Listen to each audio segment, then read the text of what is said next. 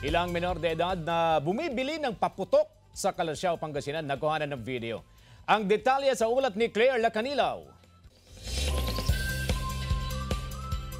Makikita sa video ang pagbili ng paputok ng ilang menor de edad sa mismong firecracker zone sa Kalasyaw, Pangasinan.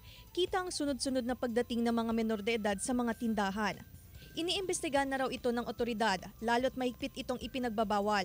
Maaring hindi napayagan pang magbenta ang mga negosyante na mapapatunayang nagbebenta ng paputok sa mga menor de edad. Pero ang ilang negosyante, tumatalima naman umano sa panuntunan. Halimbawa, may bibili ng bata, hindi namin sila talaga binibintahan. Kasi number one po para maiwasan yung maputukan sila sa mga ano lang, age na 21 pataas po, yun ang binibintahan po namin. Kasabay ng isinagawang inspeksyon ang pagbibigay babala sa mga negosyante, kaugnay sa pagbabawal na magbenta ng paputok sa mga menor de edad.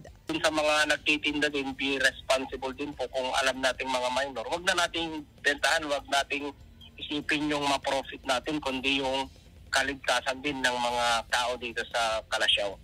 Importante rin umano ang kooperasyon ng publiko para maisumbong sa otoridad ang lumalabag na mga negosyante. Claire Lacanilaw para sa Mornings with Jimmy Regional TV.